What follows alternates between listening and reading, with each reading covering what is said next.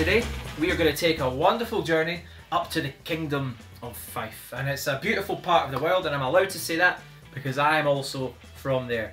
And as a child I used to spend a lot of time in this particular part of the world because my granddad was the Coast Guard up in the East Neuk of Fife. So, Kingsbarns Distillery. It wasn't there when I used to go up there right enough. Um, it was a wee bit further back than that. But this distillery was established in 2014. It's classed as a lowland distillery and I'm sure whisky lovers and people who are new to whisky will still be discovering this distillery for the first time. But I really recommend that they do.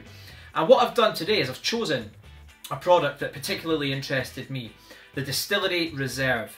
Why I've chosen this is because it's matured exclusively in port wine barriques. That's something I haven't tried before. So I was immediately intrigued, ordered a bottle, and that's what we're tasting today.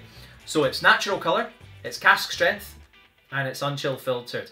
So the natural colour, what it does is it definitely promises a lot of oak qualities. Um, and I guess being established in 2014, this distillery is going to look for some active oak casks to give us flavour and colour in a shorter period of time. And that's exactly what's going on here. It's quite intense on the nose, there's loads of spice, loads of dark chocolate, little whiff of lovely sort of orange peel and zest coming through as well. Quite nutmeggy. I'm also getting a little hint of black currant. Now this is presented at 40, no not 40, nowhere near 40, 59.8%. So full bill, no messing around. You really feel that. It helps deliver that intensity. It delivers that quality of cask. Uh, you get that lovely sort of astringency coming through from the oak casks and a nice long, long finish. And that long finish is quite spicy. There's that little hint of fruit in there, lovely little bit of orange coming through as well. Touch raisiny, really, really pleasant. And I think Fife is one of those, you know, it's not known for its malt whisky production. There's a big grain distillery called Cameron Bridge in this particular part of the world.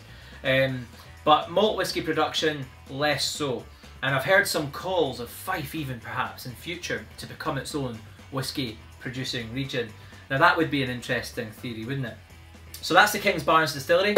Absolutely delicious, all the way from the Kingdom of Fife. Slàinte.